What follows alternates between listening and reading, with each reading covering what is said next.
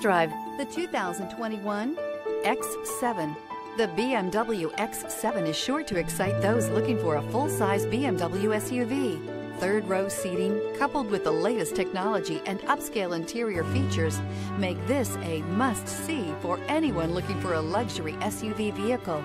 This vehicle has less than 100 miles. Here are some of this vehicle's great options.